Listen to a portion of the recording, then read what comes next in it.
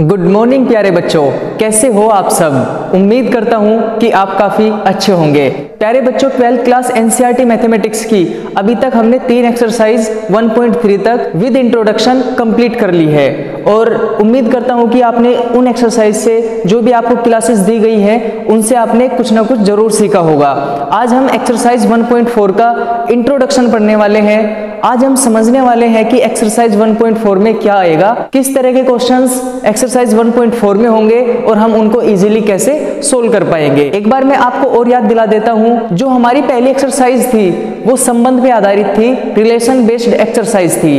जो दूसरी एक्सरसाइज थी, वो हमारी फ़ंक्शंस पे डिपेंड थी और जो हमारी तीसरी एक्सरसाइज थी, वो रिलेशन और फ़ंक्शंस के कॉम्बिनेशंस पे डिपेंड थी। वहाँ पे हमने फलनों का संयोजन पढ़ा था, ठीक है? तो आपको उन तीनों एक्सरसाइज पे अच्छी कमांड करनी है। अब इसी चैप्टर रिलेशंस एंड फ़ंक्शंस के अंदर, संबंध एवं फलन के अंदर, हम एक न्यू टॉपिक पढ़ने वाले हैं एक्सरसाइज 1.4 के इंट्रोडक्शन के रूप में। उसका नाम है बाइनरी ऑपरेशंस जिसको हम द्विआधारी संक्रिया कहते हैं। इसका कुछ पार्ट हमने पहले भी पढ़ा है, लेकिन हमें नहीं पता था कि ये बाइनरी ऑपरेशन है। चलिए इसके बारे में हम कुछ डिस्कस कर लेते हैं। यहाँ पे मैंने कुछ टॉपिक लिखे हैं। इन टॉपिक के बारे में भी हम डिस्कस करेंगे, लेकिन उससे पहले समझ लेते हैं कि बाइनरी ऑपरेशन क्या होता है, जो आज का हमारा टॉपिक है।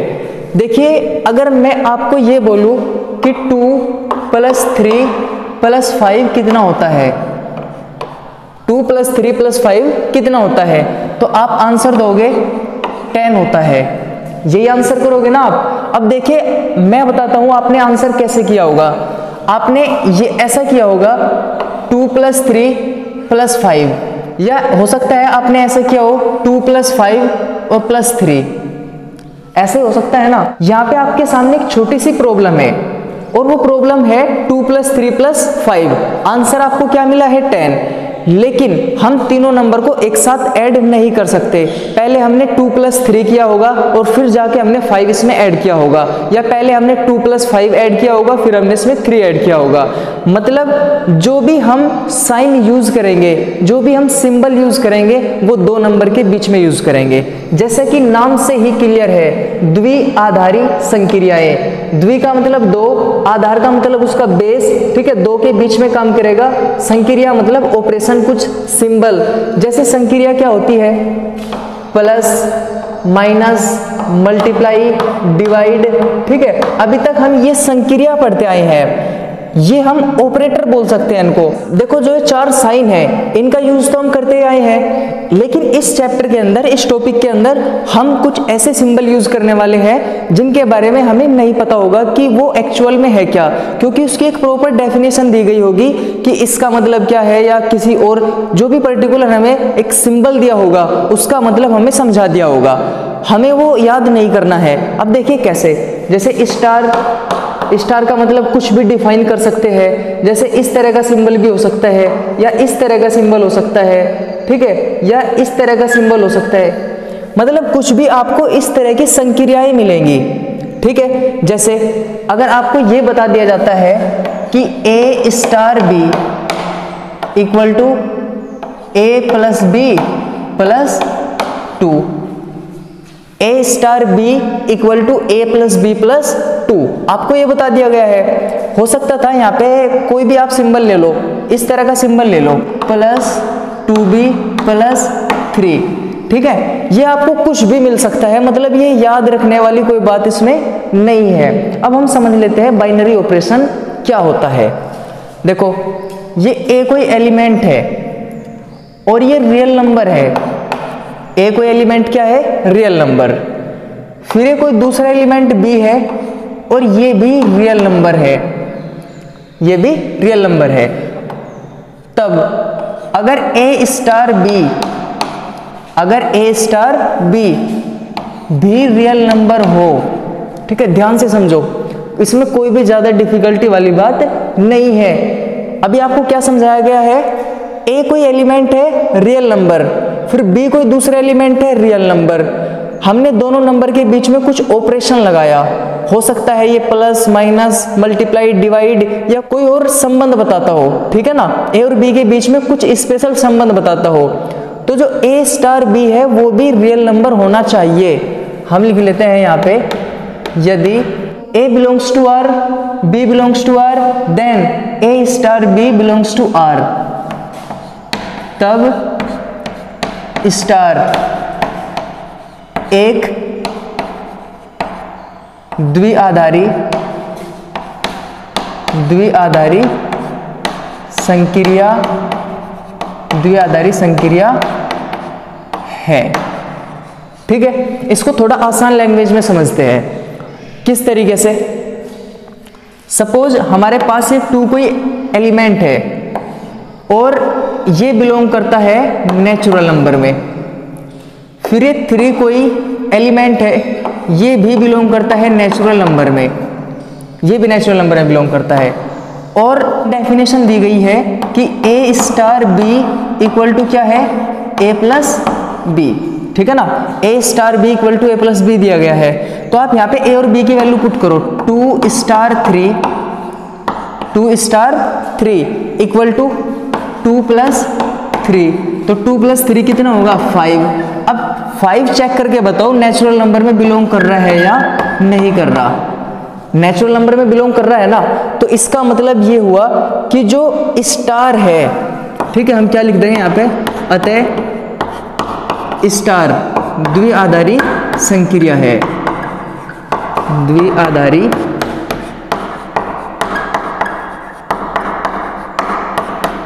संक्रिया है। ठीक है? एक अलग एग्जांपल लेके देखते हैं। ये हमारे पास ए कोई एलिमेंट है, ये नेचुरल नंबर में बिलोंग करता है। बी कोई एलिमेंट है, ये भी नेचुरल नंबर में बिलोंग करता है। और एक ऑपरेशन है स्टार ए और बी के बीच में। और वो इस तरीके से डिफाइन किया हुआ है ए माइनस बी तो हमें ये बताना है कि स्टार बाइनरी ऑपरेशन है या नहीं है। अब देखिए हम कैसे बताएँगे। यहाँ पे एलिमेंट ले लीजिए कुछ भी। 20 बिलोंग्स टू n यहाँ पे ले लीजिए 15 बिलोंग्स टू n दोनों बात ठीक है। जो 20 है वो भी नेचुरल नंबर है और जो 15 है वो भी नेचुरल नंबर है। अब देखिए यहाँ पे ऑपरेशन लगाइए। 20 star 15 20 star 15 equal to definition के अकॉर्डिंग इसे ओपन करो 20 माइनस फिफ्टीन इक्वल टू कितना होगा? 5 तो 5 बिलोंग करेगा किसमें? नेचुरल नंबर में। लेकिन हमेशा बिलोंग नहीं करेगा। कैसे? आप इनको उलट दो एक बार। जैसे मान लीजिए आपके पास यहाँ पे है two two belongs to N और यहाँ पे आपके पास है three three belongs to N अब आप करके देखिए ए स्टार बी ए का मतलब टू स्टार बी का मतलब कितना है? थ्री यही है ना? ए का मतलब क्या है? टू बी का मतलब कितना है? थ्री तो टू स्टार थ्री का मतलब क्या है? Two minus three two minus three जैसे ए माइनस बी है. तो टू माइनस थ्री कितना होगा? माइनस वन और माइनस वन नेचुरल नंबर में बिलोंग करेगा या नहीं करेगा? तो ये वाला माइनस वन जो है, वो नेचुरल नंबर में बिलोंग नहीं करेगा। अगर बिलोंग नहीं करेगा तो हम क्या बोल देंगे? स्टार बाइनरी ऑपरेशन नहीं है। स्टार एक द्विआधारी संक्रिया नहीं है। इस चीज़ का हमें ध्यान रखना है। अब देखो, कुछ बच्चे ये सोचते हैं कि जो ए स्टार बी है, वो ए प्लस बी के ही इक्वल होगा क्या? या जो ए स्टार बी है, वो ए माइनस बी के ही इक्वल होगा क्या? या ये फॉर्मूले है क्या? नहीं। ये कुछ भी नहीं है, ये आपको सिर्फ़ रिलेशन मिलेगा ए और बी के बीच में। आपको कुछ ध्यान नहीं रखना है, जो रिलेशन मिलेगा उसके अकॉर्डिंग आपको काम करना है। जैसे अगर आपको फॉर्मूला ये दिया हुआ है A star B equal to two की पावर ए बी सपोज़ अगर A star B equal to two की पावर ए भी आपको दिया हुआ है, और साथ ही साथ ये भी बता दिया कि ए और बी क्या है? नेचुरल नंबर ए और बी क्या है? नेचुरल नंबर तो ये बताइए टू स्टार थ्री का मतलब क्या होगा? ठीक है, समझो उसको ध्यान से। आपको कोई फॉर्मूला दिया हुआ है? क्या फॉर्मूला आपके पास है? A star B equal to two की पावर ए बी ये वाला आपके पास एक फॉर्मूला है। और आपसे वैल्यू पूछी जा रही है कि टू स्टार थ्री की वैल्यू बता दो। तो ए की जगह पे क्या है टू बी की जगह पे क्या है थ्री तो इसका फॉर्मूला यूज़ करो। टू की पावर ए बी, ए मतलब टू, बी मतलब थ्री तो टू की पावर कितना होगा? सिक्स होगा। टू की पावर कितना होगा? सिक्स। तो ये टू स्टार थ्री का आंसर होगा। अब हमें दिमाग इसमें नहीं लगाना है कि A star B equal to two की पावर ए बी कहाँ से आया। कहीं से भी आया हो, उसकी प्रॉब्लम नहीं है। हमें क्या करना है? जो भी हमें फॉर्मूला दिया हुआ है, उसमें हमें वैल्यू पुट करके देखनी है। बात क्लियर है ना? इसने यहाँ पे शुरुआत में बता दिया होगा अगर कि A star B equal to two की पावर ए बी है और स्टार क्या है? द्विआधारी संक्रिया है। तब हम इसकी वैल्यू इजीली फाइंड कर सकते हैं। बात क्लियर है ना? देखिए हमारे पास ये कोई सेट है। वन टू थ्री इस सेट के अंदर कितने एलिमेंट है? तीन। एक रो से हम आसानी से निकाल सकते हैं। एक ही हमें ए में ही क्रॉस करनी है। One one one two, one three. अब टू से करो। Two one, two two two three. अब थ्री की करो। Three one, three two, three three.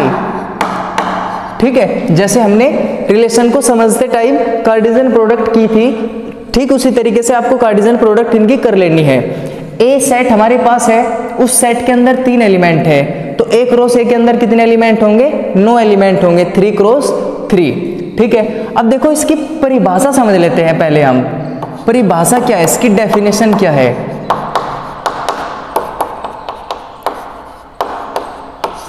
किसी समुच्चय किसी समुच्चय ए में, किसी समुच्चय ए में द्विआधारी संक्रिया। किसी समुच्चय ए में द्विआधारी संक्रिया।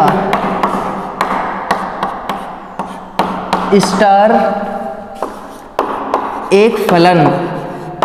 स्टार एक फलन। Star such that A cross A to A है। ठीक है? इसको ध्यान से समझ लेना, ठीक है? आसान डेफिनेशन है, लेकिन थोड़ा दिमाग लगा के समझो इसको। हम क्या पढ़ रहे हैं? द्विआधारी संक्रिया। कि द्विआधारी संक्रिया किसे कहते हैं? किसी समुच्चय ए में, हमारे पास कोई समुच्चय है? इस समुच्चय ए में, द्विआधारी संक्रिया स्टार हमारे पास कोई बाइनरी ऑपरेशन है? स्टार वो एक फलन star such that A cross A to A है। मतलब सबसे इंपॉर्टेंट बात यह है कि स्टार क्या है यहाँ पे? एक फ़ंक्शन है। स्टार क्या है यहाँ पे? एक फ़ंक्शन तो जो द्विआधारी संक्रिया है, जो द्विआधारी संक्रिया है, वो एक फलन होती है। अब फलन किस से किसमें होगी? मान लीजिए हमारे पास कोई सेट ए है तो द्विआधारी संक्रिया किससे किसमें होगी? ए क्रॉस ए के सेट से ए में होगी।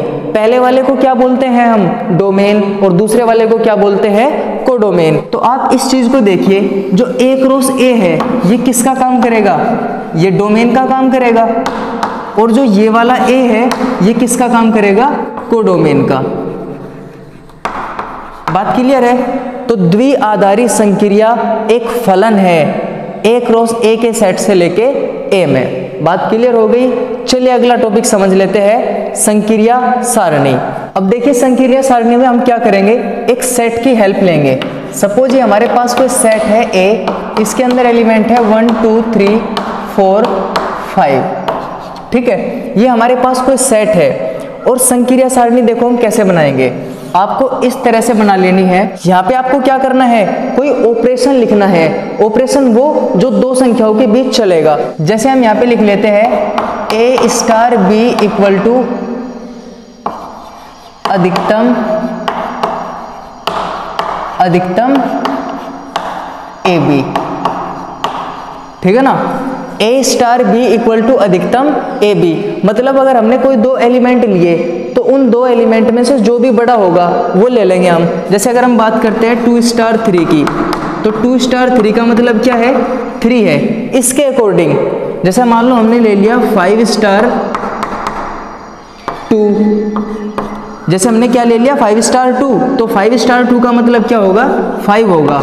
इसके अकॉर्डिंग जैसा हमने ये बाइनरी ऑपरेशन लिया है उसके अकॉर्डिंग। तो अब समझ लीजिए कि संक्रिया सारणी कैसे बनेगी। सबसे पहले यहाँ पे ऑपरेशन लिख दीजिए, जो भी है आपके पास बाइनरी ऑपरेशन।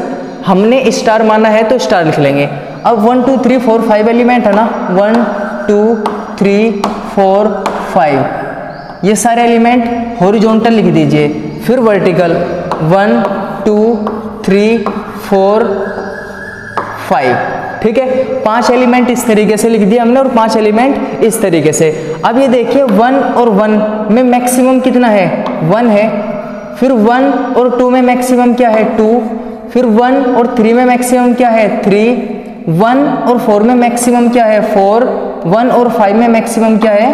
फाइव फिर टू और वन में मैक्सिमम क्या है? टू टू और टू में मैक्सिमम टू टू और थ्री में मैक्सिमम क्या है? थ्री टू और फोर में मैक्सिमम क्या है? फोर, टू और फाइव में मैक्सिमम क्या है? फाइव। थ्री और वन में मैक्सिमम क्या है? थ्री। थ्री और टू में मैक्सिमम क्या है? थ्री। थ्री और थ्री में मैक्सिमम क्या है? थ्री। थ्री और फोर में मैक्सिमम क्या है? फोर। थ्री और फाइव में मैक्सिमम क्या है? फाइव। अब फोर को देखो। फोर वन में क्या मैक्सिमम है? फोर। फोर टू में क्या मैक्सिमम है? फोर। फोर थ्री में क्या मैक्सिमम है? फोर फोर फोर में क्या मैक्सिमम है? फोर और फोर फाइव में क्या मैक्सिमम है? फाइव। फिर फाइव वन में मैक्सिमम क्या है? फाइव। फाइव टू में मैक्सिमम क्या है? फाइव। फाइव थ्री में क्या मैक्सिमम है? फाइव। फाइव फोर में क्या मैक्सिमम है? फाइव और फाइव फाइव में क्या मैक्सिमम है? फाइव। ठीक है? इस तरीके से आपको क्या कर लेना है? संक्रिया सारणी बना लेनी है। देखो, ये तो क्या है? संक्रिया सारणी के एलिमेंट है। इनको तो क्या बोलेंगे हम? एलिमेंट। और ये संक्रिया सारणी में क्या हुई? एंट्री हुई। इनको हम क्या बोल देंगे? एंट्री। आई बात समझ में? अब इन्हीं पे आधारित हम जो बाकी की हमारी प्रॉपर्टीज़ है, हम उन्हें पढ़ने वाले हैं। तो अभी तक हमने क्या टॉपिक क्लियर किए हैं? द्विआधारी संक्रिया क्या होती है? फिर हमने संक्रिया सारणी कंप्लीट की। अब हम ये दो रूल पढ़ने वाले हैं, एक क्रम विनिमय नियम और एक साचर्य नियम। ठीक है? अब देखिए उनको ध्यान से। देखो क्रम विनिमय नियम क्या होता है? जैसे टू स्टार थ्री है। टू स्टार थ्री आप टू स्टार थ्री की वैल्यू देखो टू स्टार थ्री देखो, इससे तो इधर की तरफ़ चलो और उससे इस साइड की तरफ़ चलो। तो टू स्टार थ्री का मतलब कितना है यहाँ पे? थ्री अब थ्री स्टार टू निकाल के देखो। थ्री स्टार टू तो इधर से तो थ्री पे चलो। और ऊपर से टू से चलो। तो ये एलिमेंट मिला है ना हमें। तो थ्री स्टार टू का मतलब क्या होगा? थ्री होगा। बात समझ में आई? तो हम क्या लिखेंगे? यहाँ यहाँ। टू स्टार थ्री इक्वल है किसके? थ्री स्टार टू के। ठीक है? आप कोई सा भी एलिमेंट लेके देख सकते हैं। जैसे कि फोर स्टार फाइव फोर देखो, इधर से चलो। ठीक है? ऐसे करके। और फाइव ऊपर से चलो। तो इस पे कट हुआ ना? तो फोर स्टार फाइव का मतलब है फाइव अब फाइव स्टार फोर ले सकते हो। फाइव स्टार फोर एकदम उल्टा लेना है हमें। तो फाइव से चलो। और फिर स्टार फोर फिर फोर से। तो यहाँ पे कटेगा अब की बार। तो फाइव ठीक है? अब आप देख सकते हैं जो फोर स्टार फाइव है, वो किसके इक्वल है? फाइव स्टार फोर के।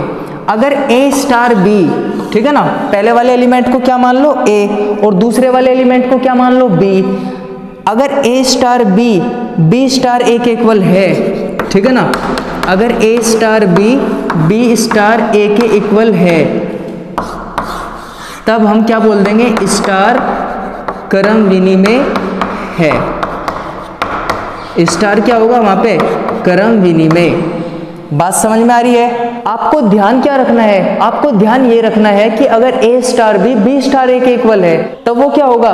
क्रम विनिमय नियम होगा। जैसे हमने क्या किया था? पहले टू स्टार थ्री की वैल्यू निकाली थी। तो टू स्टार थ्री हमें कितना मिला था? थ्री फिर हमने थ्री स्टार टू निकाला।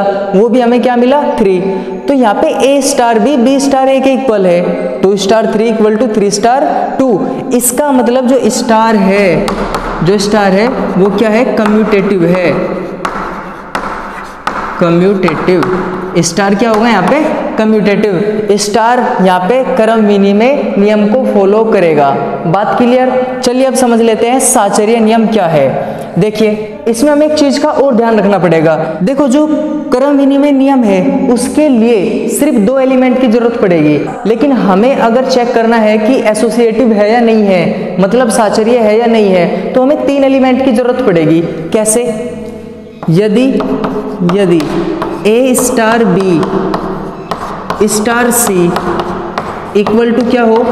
A star B star C ठीक है? अगर मैं आपसे ये पूछता हूँ कि एसोसिएटिव लो बताओ क्या है तो एसोसिएटिव लो क्या है? A star B star C equal to A star B star C आपको इस तरीके से बताना है। चलिए देखते हैं कैसे। यहाँ पे टू थ्री फाइव ले लो.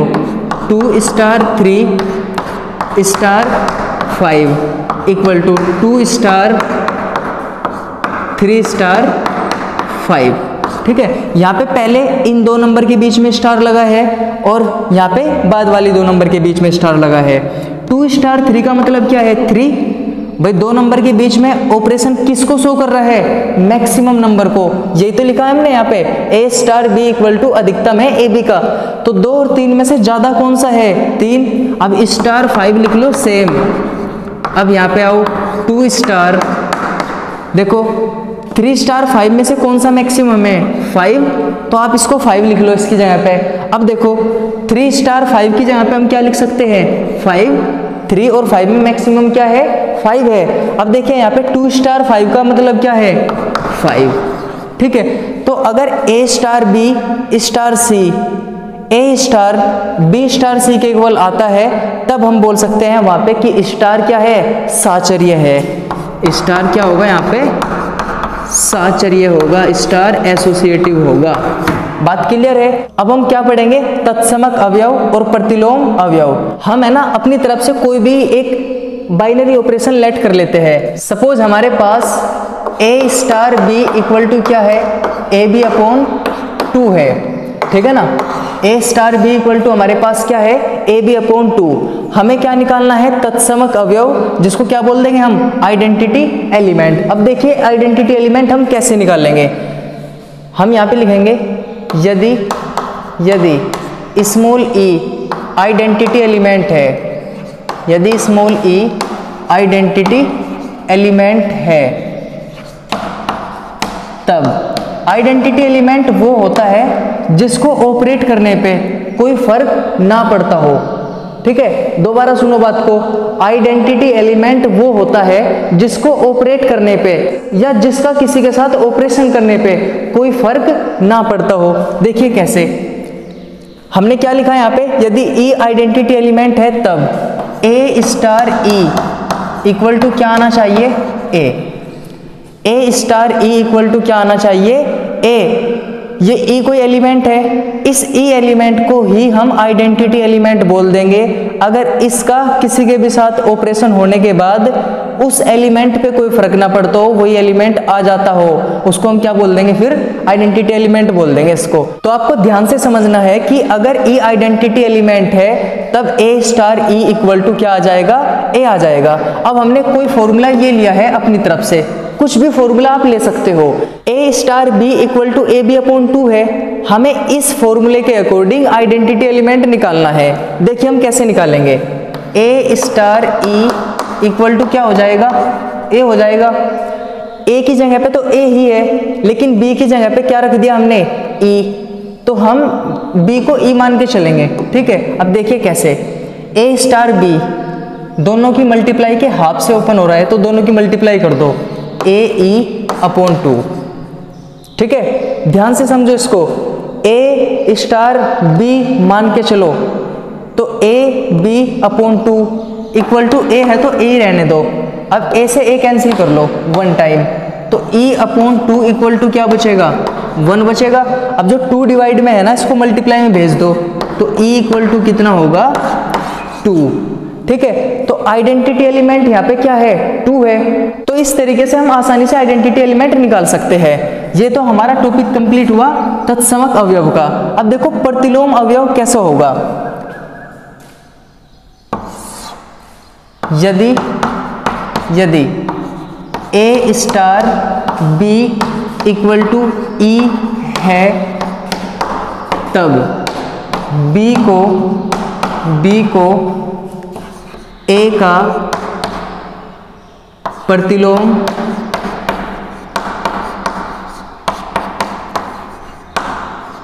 कहते हैं। ठीक है ना? ध्यान से समझो इस बात को। यदि a star b equal to क्या है? E तब b को a का प्रतिलोम कहते हैं। देखिए कैसे। A star B equal to क्या लेके चलो? E लेके चलो। अब ए स्टार बी दो नंबर के बीच में स्टार कैसे ओपन हो रहा है? ए बी अपॉन टू से। तो यहाँ पे कर दो A B upon two equal to देखो जो ई e है ना ई e इसकी जगह पे क्या लिखेंगे हम? आइडेंटिटी एलिमेंट टू इस टू को उधर भेज दो। तो ए, बी इक्वल टू कितना होगा? फोर। ये ए मल्टीप्लाई में है, ए को भेज दो डिवाइड में। तो बी इक्वल टू क्या होगा? Four upon A. B equal to क्या होगा? Four upon A. तो मतलब देखो, हमने शुरुआत में क्या लिखा था कि यदि A star B equal to E है, तब बी को ए का प्रतिलोम कहते हैं। B को ए का प्रतिलोम, या ऐसे भी कह सकते हो, a को बी का प्रतिलोम। ए और बी मतलब आपस में एक दूसरे के इनवर्स है। अब देखो, b की वैल्यू हमने फोर अपॉन ए निकाल दी। मतलब a का इनवर्स फोर अपॉन ए है। इस बात को हम प्रूफ भी कर सकते हैं कि ए का इनवर्स फोर अपॉन ए है या नहीं है। देखिए कैसे। अगर ए का इनवर्स फोर अपॉन ए है, तब a को फोर अपॉन ए के साथ ऑपरेट करने के बाद आइडेंटिटी एलिमेंट आना चाहिए। ए स्टार बी अब बी की जगह पे क्या लिखेंगे हम? फोर अपॉन ए ठीक है? A star b a star b b क्या है? A का इनवर्स है। अब देखेंगे, ये पहला एलिमेंट ये दूसरा एलिमेंट पहले और दूसरे एलिमेंट के बीच में ऑपरेशन लगाने पर आइडेंटिटी मिलता है या नहीं मिलता, हम वो चेक करेंगे। अब देखो, ये पहला एलिमेंट ये दूसरा एलिमेंट दोनों के बीच में ऑपरेशन लगा दिया हमने। तो देखो कैसे ओपन होगा। दोनों की मल्टीप्लाई और अपोन में टू है ना? तो A multiply four upon A हो गया ए बी अब अपोन क्या लिखो? टू अब देखो ए से ए कैंसिल कर दो। ऊपर क्या बचेगा? फोर नीचे क्या बचेगा? टू तो टू टाइम कैंसिल कर दो तो क्या बचेगा? टू अब टू क्या था हमारा? टू था आइडेंटिटी एलिमेंट तो इसको हम ई लिख सकते हैं। अब आप ये देखिए, ये पहला एलिमेंट ये दूसरा एलिमेंट दो नंबर के बीच में हमने ऑपरेशन लगाया और हमें क्या मिला? आइडेंटिटी इसका मतलब पहले वाला, दूसरे का इन्वर्स है और दूसरे वाला पहले का इन्वर्स है। तो इस तरीके से हम प्रतिलोम अवयव भी निकाल सकते हैं। ठीक है तो प्यारे बच्चों, ये टॉपिक आपको और अच्छे से तब समझ में आ जाएगा जब हम एक्सरसाइज के क्वेश्चंस को स्टेप बाय स्टेप सोल्व करते हुए चलेंगे। आज की क्लास में बस इतना ही करते हैं। अब आगे हम पढ़ेंगे एक्सरसाइज 1.4 तब तक स्टडी करते रहिए और जो भी प्रॉब्लम आती है मेरे साथ डिस्कस कीजिए। आज की क्लास को अटेंड करने के लिए आपका बहुत बहुत धन्यवाद। Thank you very much